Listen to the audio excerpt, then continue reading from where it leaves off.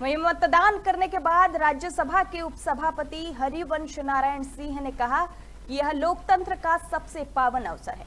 लोग अपने मतों से शासन में कौन रहेगा, उसका भविष्य तय करते हैं। हमें मतदान करना चाहिए और मतदान के द्वारा अपने प्रतिनिधि का चयन करें। यह लोकतंत्र का सबसे पुनीत पावन अवसर है। लोक का राज है, उसका सबसे ज्वलंत प्रमाण यही है कि लोग अपने मतों से शासन में कौन रहेगा, उसका भविष्य तय करते हैं।